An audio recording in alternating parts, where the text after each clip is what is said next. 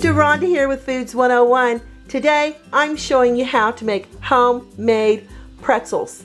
Yep, I'm even going to show you how to twist them. The ingredients we're going to need for the pretzels is 5 cups of all-purpose flour, 1.5 cups of water at a temperature of 110 to 115 degrees Fahrenheit, 1 half cup of milk that we need at a temperature of 110 degrees Fahrenheit, 1 tablespoon of your active dry yeast, like I'm showing you right here, 2 teaspoons of kosher salt, 1 teaspoon of sugar, four teaspoons of baking soda and we're going to add this to four cups of warm water later on. I'm going to show you how to do it. And butter for topping our pretzels once we pull them out of the oven. So let's get started on our pretzel dough. First we're going to add our yeast right here into our water. It's got a temperature of about 113 degrees Fahrenheit and we're going to swirl it around that's a kind of like a warm bath water. If the water's too hot, it's going to kill your yeast. If the water isn't warm enough, your yeast is not going to activate. We're going to set this off to the side. Into the flour, we're going to add the sugar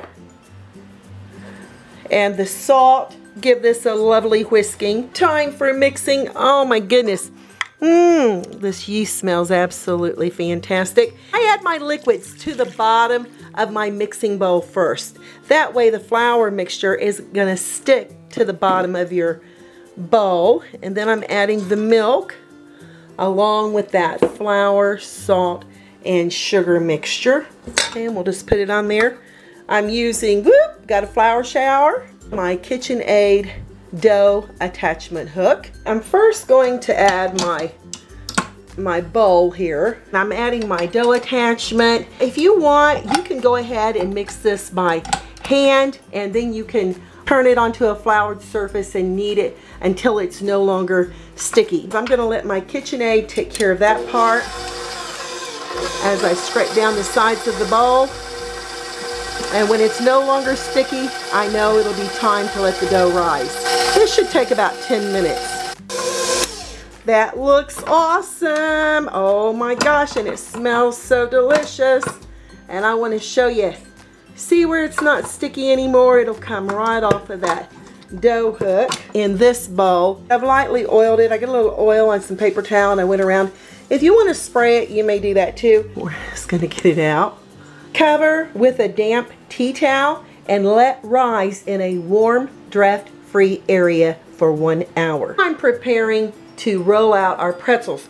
But first, we're going to need a baking soda bath. I use four cups of very super hot tap water with those four teaspoons of baking soda. And what we're gonna do is really whisk this around until all that baking soda dissolves until your water is clear. I've greased several large cookie sheets. If you wanna use uh, spray oil, you may, but I just use a little vegetable oil to give it a light coating because we definitely do not want our pretzels sticking to our baking pans. We've got our dough and we're going to just turn it out upside down until it comes out of its bowl.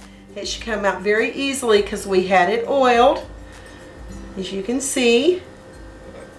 I gave my dough a little kneading and now I'm going to cut a strip off and put it in little flour so it won't be so sticky on us. As you can see, we have pieces of tape from here to here. Stretch it out by pulling just like this and then you're going to go back and forth. You want it about the size of your little pinky there. I'm really starting to get good at this. I've been practicing it. So we're going to do an upside down U, twist twice, one, two, bring the ends down, pinch them together, and there you go. You got your lovely pretzel. Now you're going to dip it in your soda solution, bring it out, dip it over on paper towels, dry it off, and put it over here on your cookie sheet.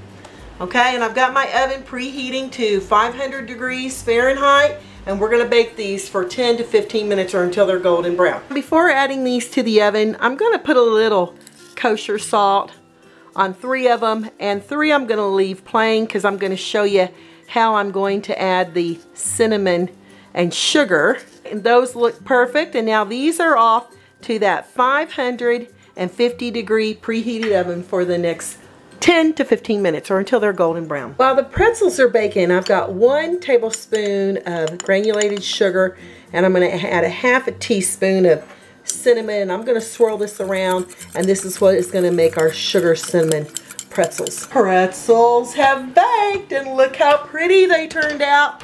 Now immediately I've melted the butter and we're just going to brush butter over the top of our pretzels.